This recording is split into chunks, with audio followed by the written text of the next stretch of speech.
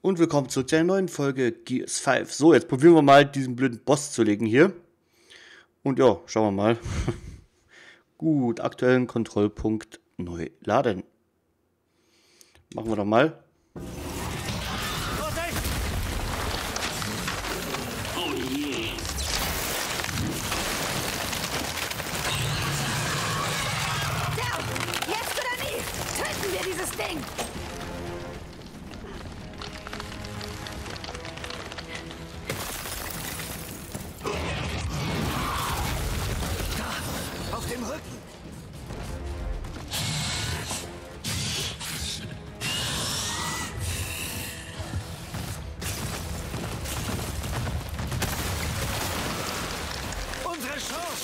Schieß auf den Rücken.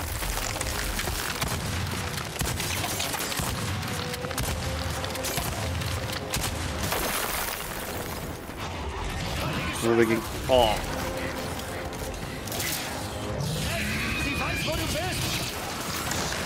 alter Schwede.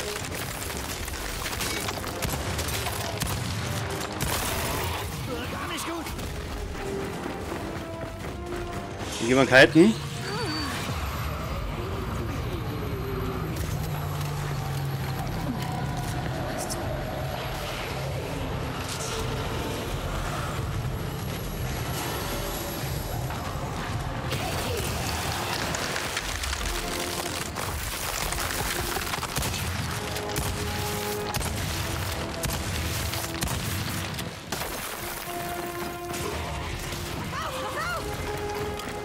Müssen Munition holen. Ah, den falschen Knopf wieder gedrückt, Mensch.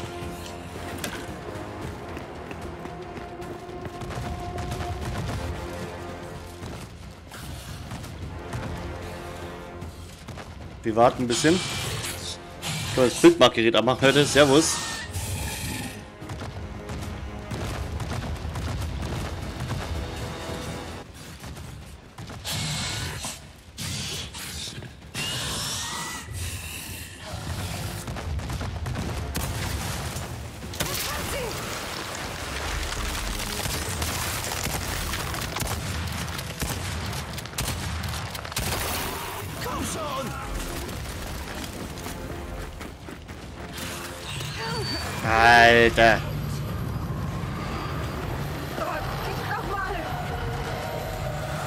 Der Ansicht, ist echt immer ein bisschen bescheiden.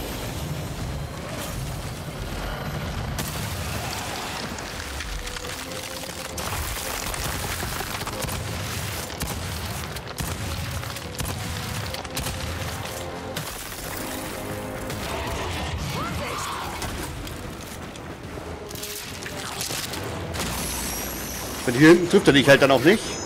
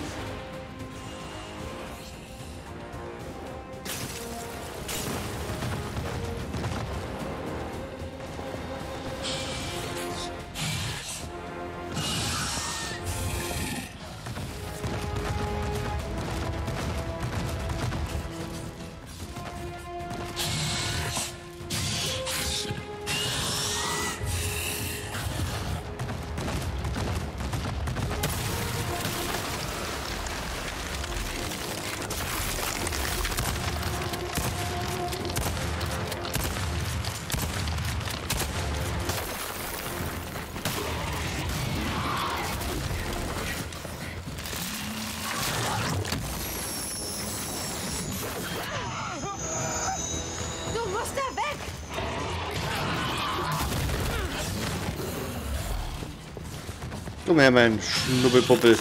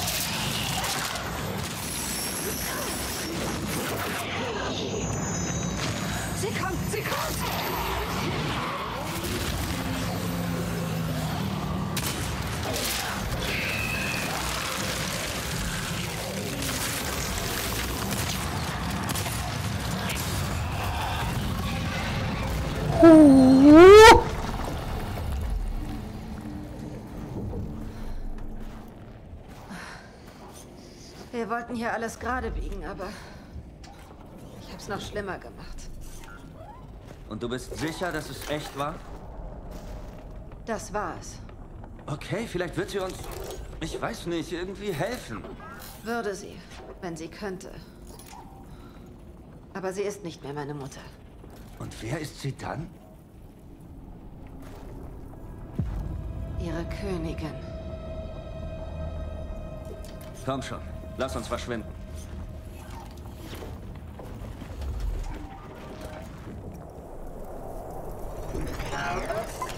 Ja, das lief doch relativ gut, muss ich sagen.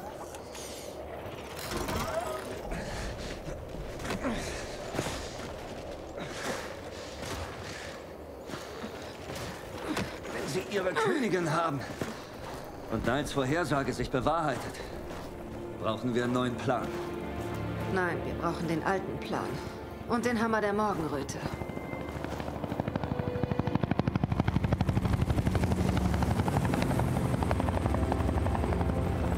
Oh, Gott sei Dank. Braucht ihr vielleicht ein Taxi? Wie habt ihr uns gefunden? Glaubst du, ich überlasse dir eine einzigartige Technologie und kann sie nicht bis zum Mittelpunkt des Planeten verfolgen? Ja, ja, schon gut. Und apropos einzigartig, hilf mir mal mit dem Skiff.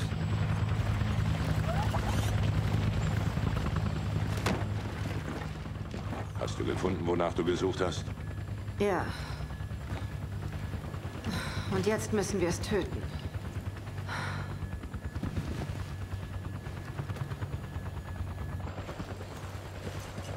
Ist Wahrscheinlich mit dem Hammer der Morgenröte. Okay? Nicht wirklich. Aber ich habe da mal eine Frage. Wie lange würde es dauern, den Hammer der Morgenröte zu aktivieren? Lustig, dass du fragst. Die Festplatte, die du vor ein paar Monaten gefunden hast, über die UUR. Ja? Interessantes Zeug. Wie interessant. Wirst du sehen. Ich habe zum Glück einen alten UUR-Kontaktmann. Ab nach Hause, Ich habe das Sam. Gefühl, dass das Vieh noch lebt. Klar, Würstchen.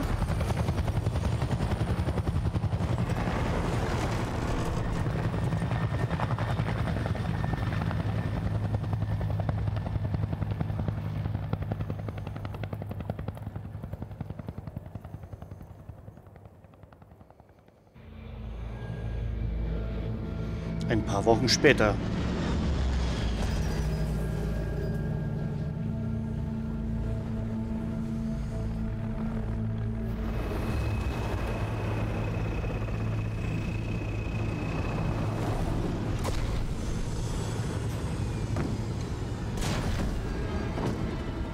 Willkommen in Vaskar, Heimat des geheimen Raumfahrtprogramms der Union unabhängiger Republiken.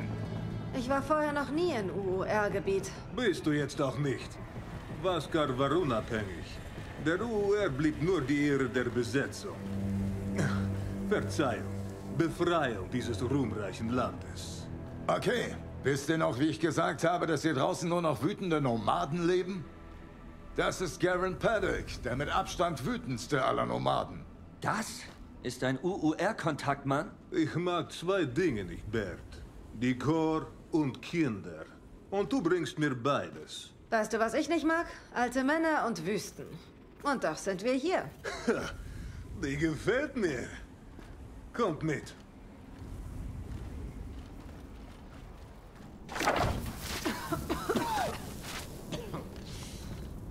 Das Raumfahrtprogramm der UUR war viel weiter fortgeschritten, als die Corps öffentlich zugeben wollte. Irgendwo in diesem Raumhafen befindet sich eine Rakete mit funktionstüchtigen Hammer der Morgenröte-Satelliten. Ich glaube, wir können das System wieder hochfahren und dem Schwarm eine volle Breitseite verpassen. Wenn die UUR Satelliten in den Pendulumkriegen hatte, warum setzte man sie nicht ein? Die Politiker wollten einen Waffenstillstand. Ein Satellitenstart hätte weitere 100 Jahre Krieg bedeutet. Aber einige vom Militär wollten ihn trotzdem starten. Tja, und das führte irgendwie zu einem klitzekleinen Bürgerkrieg. Wir kennen den Grundriss des Raumhafens. Wo sind die Satelliten? Versuch zum Raketenhangar. Hier. Die Sturmfronten machen einen Flug über die Wüste unmöglich. Und da kommt euer Skiff ins Spiel. Frage.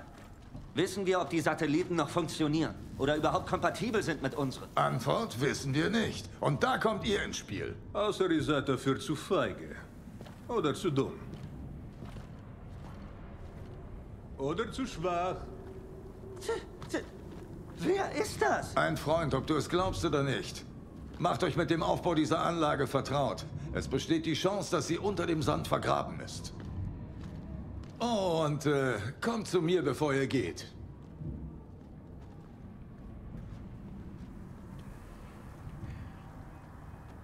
Okay, Leute, dann schauen wir doch mal. Dir klar, dass das auch daneben gehen kann? Schauen Sie Mir erstmal ein bisschen um, würde ich sagen. das hin. Müssen wir einfach. Vielleicht solltest du mir sagen, was du in der Maschine gesehen hast. Ich habe es nicht gesehen. Ich habe es gefühlt. Sie haben jetzt eine Königin. Sie werden nicht aufhören. Ich, ich habe sie geweckt. Also muss ich sie auch aufhalten. Ja, aber es liegt nicht nur an dir. Komm schon, gehen wir zu Barrett.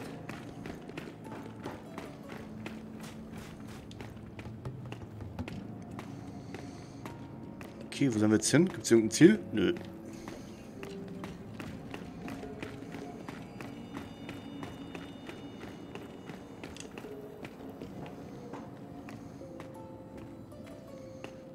Erstmal.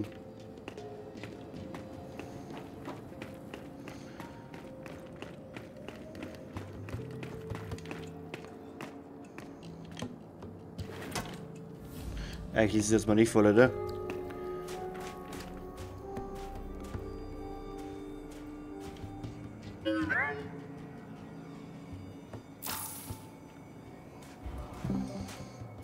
Okay, er will ein paar Komponenten.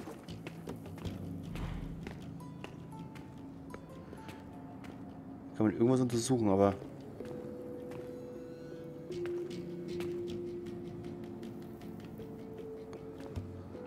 Aber irgendwie macht er hier nichts. Leute sind echt in den Urlaub geflogen, was? Kaum vorzustellen. Sind sie, zumindest bevor die UUR hier das Sagen hatte.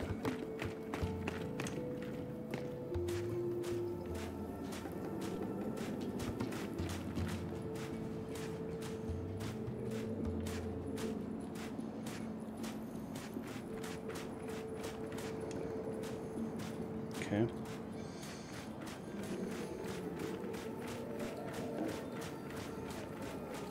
Oh, gut, du bist hier. Schnapp dir das Modul vom Tisch. Jack ist fällig für ein Upgrade.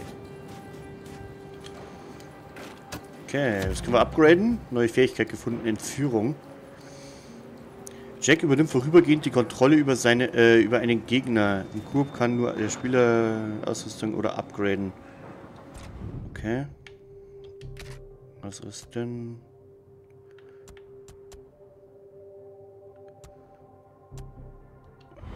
Fertig. Was macht das Ding? Mir nach. Vor ein paar Tagen habe ich Paddock ein Care-Paket geschickt. Mit ein paar Diebis und Egel. Hm, interessant. Potenziell gefährlich, aber interessant. Danke. Weißt du, als du Niles Maschine beschrieben hast, kam mir eine Idee. Ich nenne es Entführung. Na los, versucht es.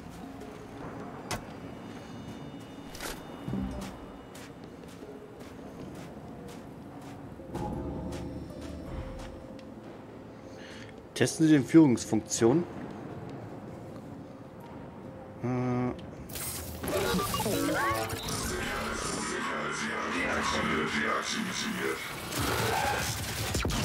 Hölle. Zeig ihm, was du kannst, Jack. Was? Du weißt, wie man den Schwarmverstand Sache. außer Kraft setzt? Äh, nein, Jack flutet nur ihre Hirne mit ein paar Volt. Ist primitiv, hält nicht lang an, aber es klappt. Gegen welchen Schwarm können wir es einsetzen? Nun, unsere Sache. sind zwar begrenzt, aber äh, weißt du was? Dreh durch da draußen, mal sehen, was passiert. das werden wir machen. Oh, äh, noch was. Sieh doch mal nach Paddock, bevor du gehst. Er ist draußen. Okay, schauen wir noch mal rein. Noch was, Bert. Wenn der Hammer oben ist. Aber schauen wir uns erst hinten ich noch mal um. Ob du verlässlich bist. Mach dir keine Sorgen. Dieses Mal machen wir es richtig. Was mit Lizzie und dem Konvoi passiert ist. War nicht deine Schuld. Upgrade. Ich denke mal, dass wir die Zeit erhöhen können. Ja, genau. 30% länger. Das graden wir doch gleich mal. Up. Nett, dass du das sagst. Aber ich habe den Knopf gedrückt. Hatte kein gutes Gefühl dabei. Wollte es nicht tun, aber ich hab's getan. Also meine Schuld. Da wir gerade dabei sind, hast du irgendwann JD gesehen? Das versuche ich zu vermeiden.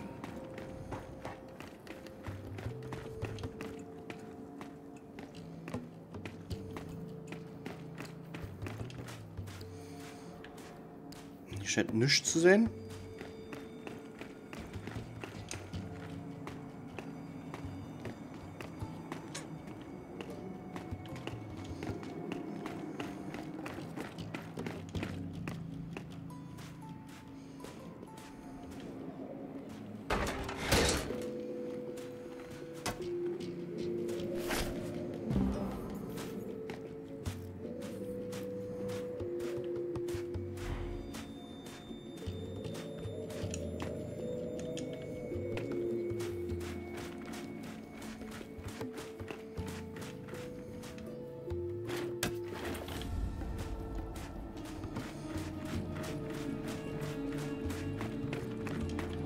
Wir hier raus? Ja.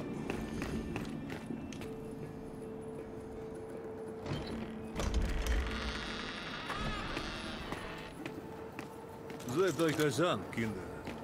Bis vor wenigen Wochen kamen wir gut zurecht mit eurem sogenannten. Schwarm. Dann hat sich alles geändert. Wir nehmen die mal. wurden klüger.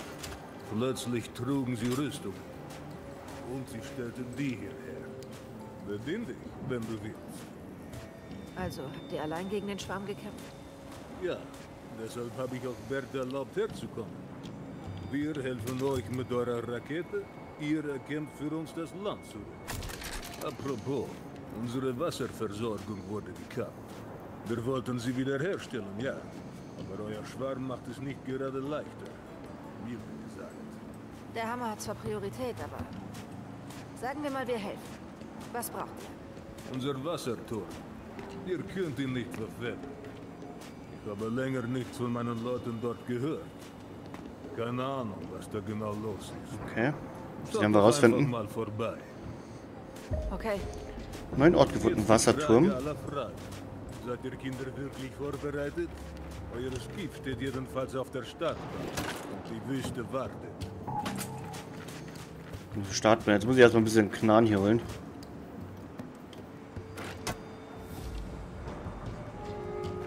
Okay, sind wir voll. Das nehmen wir auch noch mit.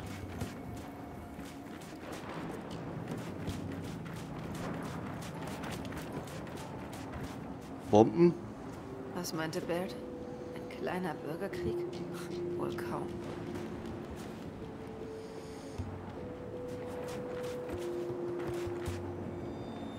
Okay, hier scheint so nichts mehr zu sein. Schau doch mal auf die Startbahn.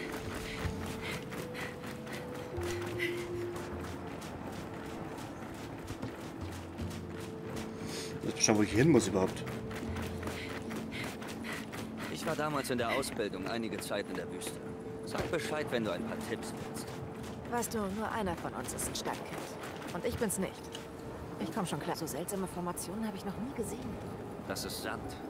Super heiß gegrillt von einem Blitzgewitter. Ach ja? Wie geht das? Hohe Druckstöße ändert die atomare Struktur des Sandes. Du hast deine Berufung verfehlt. Du solltest Wissenschaften lehren. Ja. Keine Ahnung. Hier Vielleicht ist die Startbahn, oder? Die Startbahn ist dort. Okay. Schauen wir doch mal. Baird, erwarten wir noch jemanden?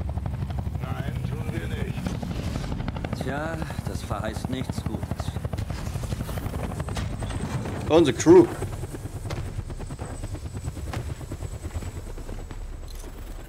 Das glaube ich jetzt nicht.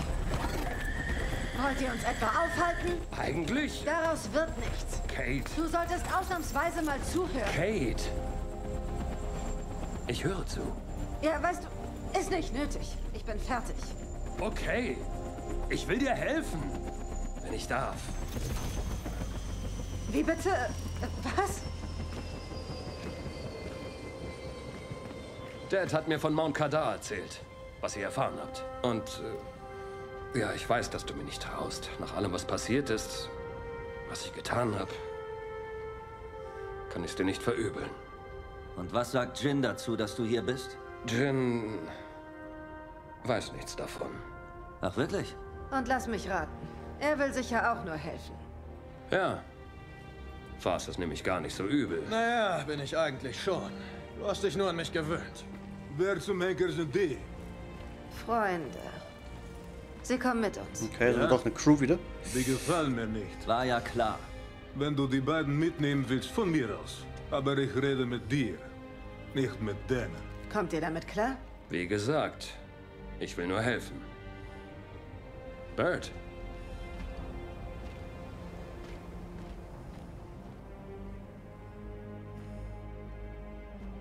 Tja, dann los. Schwenken wir uns in den Raven und suchen ein paar Satelliten. Kein Raven. Die Sturmfronten da draußen bringen einen um. Also was? Sollen wir laufen? Ey, Mann, wenn du laufen willst, nur zu. Wir haben andere Pläne. Gehen ins GIF. Doch nicht mit dem Skiff, oder? Okay, Baby. Na schön. Aber erst habe ich ein Hühnchen zu rupfen. Ein großes. klar. Dann rupf los. Du hast mich belogen. Und nach deiner Verletzung hast du dich zurückgezogen. Als. als würden wir dich gar nicht kennen. Ich war nicht wirklich ich selbst, ja. Das weiß ich. Und wer steht heute vor uns? Euer Freund. Ich wollte ja JD überreden, dass er seine dunkle Seite annimmt, aber irgendwie bringt ihr das Beste zum Vorschein. Gut, dann würde ich sagen, ob wir den Satelliten finden, schauen wir uns natürlich jetzt in der nächsten Folge an, weil ich glaube, dass es da natürlich jetzt ein bisschen länger geht. Und deswegen würde ich mich freuen, wenn ihr wieder einschaltet und wenn ihr mir ein bisschen Support da lasst, würde ich mich auch sehr, sehr freuen. Ansonsten sehen wir uns in der nächsten Folge wieder. Bis dahin wünsche ich noch viel Spaß auf meinem Kanal. Ciao, ciao, reingehauen. Euer Andi.